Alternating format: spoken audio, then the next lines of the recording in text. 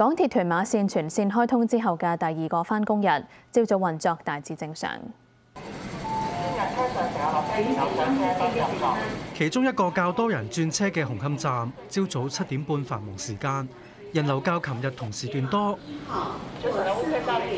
除咗有上班一族，亦都有唔少學生揀搭屯馬線返學。接駁觀塘線嘅鑽石山站，亦都較琴日繁忙。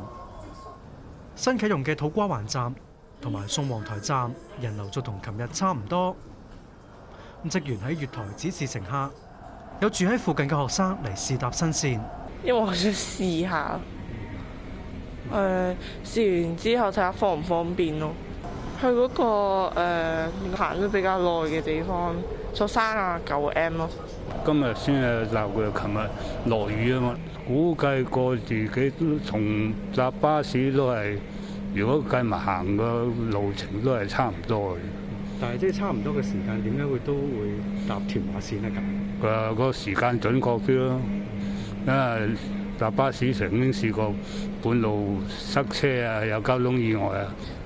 繁忙時間唔想坐得咁逼，乘客亦都可以參考一個實時估算每卡車廂載客情況嘅系統，到較多空間嘅車廂上車，而一個系統亦都覆蓋屯馬線所有車站。